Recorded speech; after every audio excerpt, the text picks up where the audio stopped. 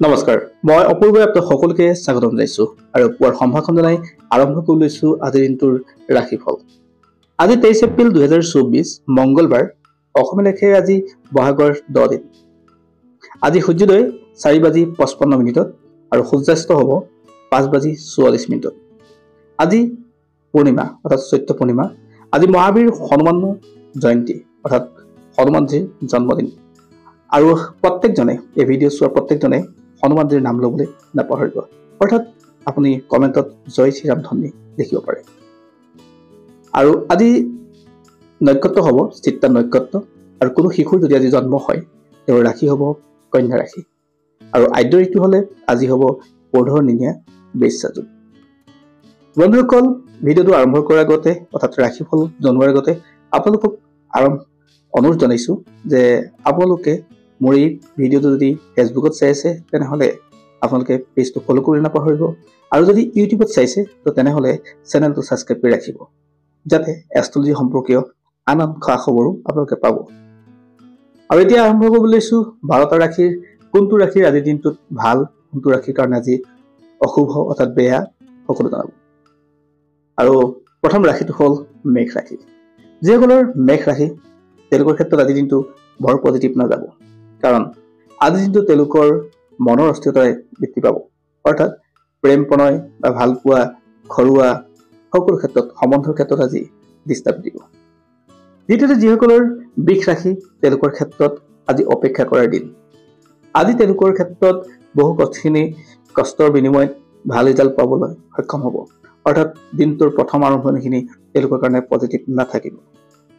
ব্যৱসায় বাণিজ্য বা তেওঁলোকৰ কৰ্মস্থানত সকলোতে অপেক্ষাৰ দিন। গতিকে আজিৰ দিনটো তেওঁলোকে কোনো শুভ কাম নকৰাই ভাল। যিসকলৰ মিথুন ৰাশি মিথুন ৰাশিৰ জাতক জাতিকাসকলৰ ক্ষেত্ৰতো আজি প্ৰথম আৰম্ভণিখিনি বৰ শুভফল নাথাকিব। তেওঁলোকে এলাহ ত্যাগ কৰিব লাগিব। আৰ্থিক দিশটোত তেওঁলোকৰ খৰচৰ বাট বেছিকৈ মুকলি হ'ব। আৰু আনহাতে স্বাস্থ্যৰ ক্ষেত্ৰতো তেওঁলোক সজাগ হ'ব লাগিব। গতিকে তেওঁলোকৰ শুভ কাম আজি নকৰিলেই ভাল। যদি আপোনাৰ কৰ্কট ৰাশি হয় তো তেনেহ'লে আজিৰ দিনটো আপোনাৰ কাৰণে পজিটিভ। কোৰ্ট কাছাৰী বা এইবিলাকৰ ক্ষেত্ৰত যদি আপোনাৰ কিবা কাম আছিল সেই কামবিলাকত আপোনাৰ সফল হ'ব। ব্যৱসায় বাণিজ্যৰ ক্ষেত্ৰতো আপোনালোকৰ পজিটিভ মত এটা থাকিব। আৰু আপোনাৰ যদি স্বাস্থ্য কিবা দুৰ্বল আছিলে আজিৰ পৰা সবল হোৱাৰ যোগ থাকে। যদি আপোনাৰ সিংহ ৰাশি হয় সিংহ ৰাশিৰ ক্ষেত্ৰত আপোনালোকৰ ঘৰুৱা সম্পৰ্কত অলপ ডিষ্টাৰ্বেঞ্চৰ যোগ থাকে। কৰ্মস্থানত আপোনাৰ ওপৰৰ লগত আপোনাৰ মনোমালিন্য ঘটিব পাৰে। বা আপোনাৰ দিনটোৰ যিকোনো ক্ষেত্ৰতে বন্ধুবৰ্গৰ পৰা আৰম্ভ কৰি সকলো ক্ষেত্ৰত ক'ৰবাত মতভেদ হোৱাটো স্বাভাৱিক। গতিকে কোনো মতবিৰোধৰ কাম কৰিবলৈ আপুনি যত্নও নকৰিব। যদি আপোনাৰ কন্যা ৰাশি হয় তো তেনেহ'লে আপোনাৰ ক্ষেত্ৰত আজি দিনটো অলপ ভাল। প্ৰয়োজনৰ কামখিনি আজি আপুনি শুভাৰম্ভ কৰিব পাৰে। অৰ্থাৎ আজিৰ দিনটোৱে আপোনাৰ স্বাস্থ্যত অলপ উন্নত কৰিব আপোনাৰ আৰ্থিক দিশটো ভাল কৰিব। গতিকে দিনটো আপোনাৰ ক্ষেত্ৰত ভাল। যদি আপুনি তুলা ৰাশিৰ মানুহ হয় তেনেহ'লে আজিৰ দিনটো আপোনাৰ কাৰণে পজিটিভ আপুনি নতুন কাম আৰম্ভ কৰিবলৈ যদি বিচাৰিছে তেনেহ'লে কৰিব পাৰে। সম্প্ৰতি ক্ৰয় বিক্ৰয়ৰ ক্ষেত্ৰত আপোনাক আজি লাভান্বিত কৰি তুলিব। যদি আপোনাৰ বৃশ্চিক ৰাশি হয় তেনেহ'লে আজি আপোনাৰ কাৰণে ভাল এটা দিন।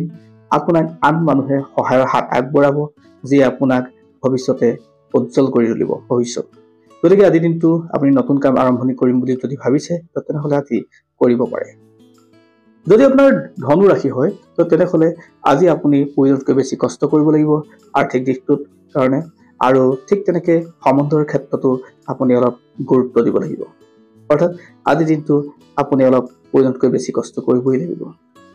যদি আপোনাৰ মকৰ ৰাশি হয় তো তেনেহ'লে আজিৰ দিনটো আপোনাৰ কাৰণে ভাল দিন।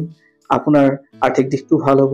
শুভ কাম আৰম্ভণি কৰিব পৰা যোগ সৃষ্টি হয় আৰু আপোনাৰ বেংকৰ লগত জড়িত কাম কাজো আজি সম্পূৰ্ণ হৈ উঠিব। যদি আপোনাৰ কুম্ভ ৰাশি হয় তো তেনেহ'লে কুম্ভ ৰাশিৰ জাতক জাতিকাসকলৰ ক্ষেত্ৰত স্বাস্থ্যত গুৰুত্ব দিব লাগিব। পিঠি বিষৰ পৰা আৰম্ভ কৰি অৰ্থাৎ পেটৰলৈকে সকলো ক্ষেত্ৰতে আপোনাৰ আজি ডিষ্টাৰ্বেঞ্চৰ যোগ থাকে গতিকে স্বাস্থ্যত আপুনি অলপ সজাগ হ'বই লাগিব।